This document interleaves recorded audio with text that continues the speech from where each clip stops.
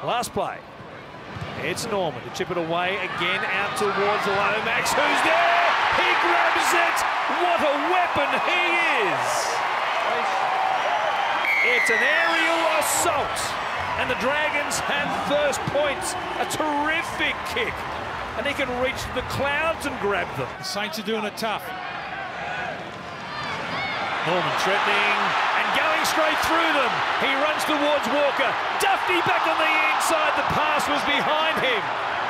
Dufty runs away and scores for your life.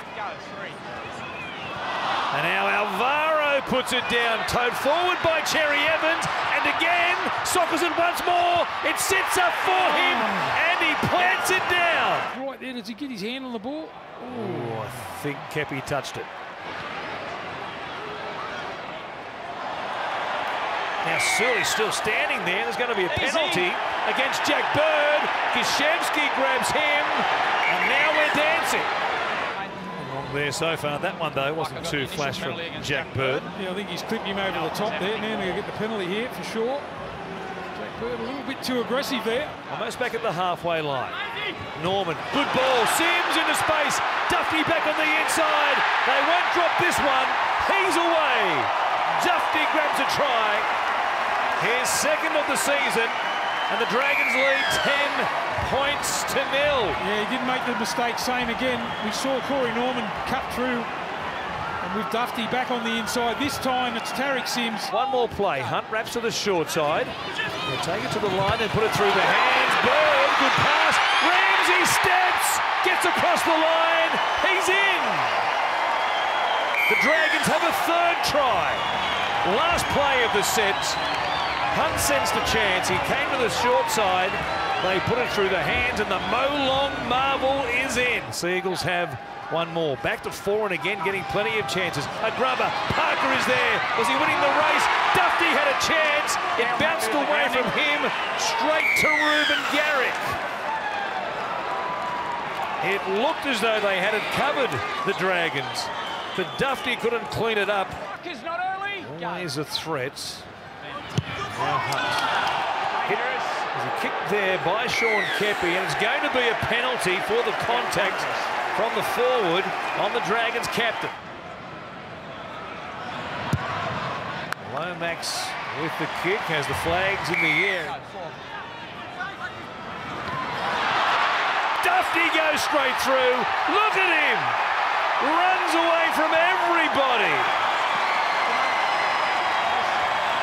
As simply as that, a ball back on the inside, Dufty on the angle, and he was lightning. Great grubber by Hunt. Lomax is there, he got a hand on it. He thinks he scored. A good kick by Ben Hunt. Chris Sutton points to the spot, and the points just keep flowing now for the Dragons. Oh, he's got it on the string, hasn't he, Hunt? McCulloch, crash ball, charging through. Blake Lawrie gets across the line, looking for his first try. Blake Lawrie maintains possession, but never gets the ball to the ground. Oh, can you believe it? Inside six remaining. Here in the gong as Cherry Evans comes back to the middle. Cuss keeps it alive. Walker does well. Schuster back in the middle. Cherry Evans gets a consolation four-pointer at the death. I like what I see from Schuster. I reckon he's going to be a player. Get used to playing in the back row or get used to playing first grade first. Forward, at the line, out the back for Cherry Evans. Oh, my goodness. Mika Ravalawa gave him a rib check. And to his credit, Daly Cherry Evans gets up smiling. But Ravalawa saw that coming. He was like a human missile. He's laughing. I wouldn't be laughing. I'd be counting my ribs. Oh, you're right. The short side, Norman. Keep it going. Spinning in the tackle. What an effort by Brayden Wiliame. That was slick down the short side.